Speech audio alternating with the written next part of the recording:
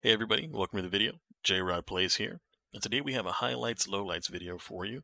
In the first clip that we'll be looking at, we just got done taking care of the butcher and we were actually going to head to fight the other bounty. And somewhere in the middle, we just happened to pinch a team that was also trying to uh, fight the bounty. And so once we get that team, chaos ensues and the ending is a pretty nice ending.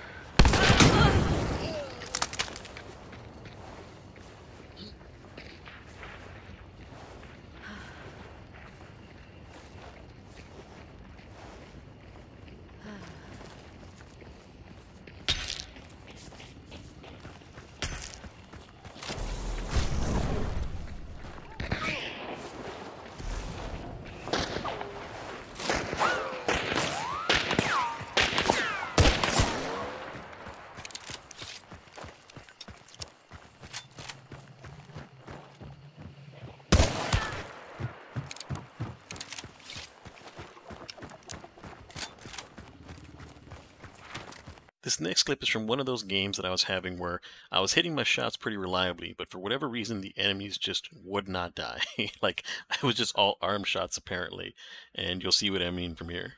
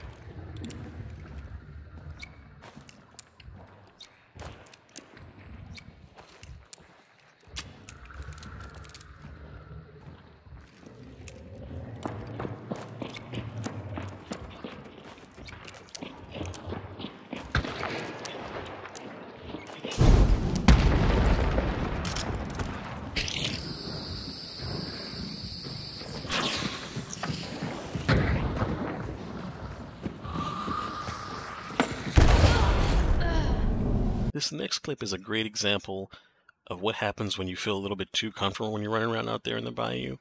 Uh, this group that we ran into just, I guess, didn't ever think of the possibility that they may not be alone in the compound, and they were just running straight through like they had no care in the world. Well, it wasn't like that for long for them.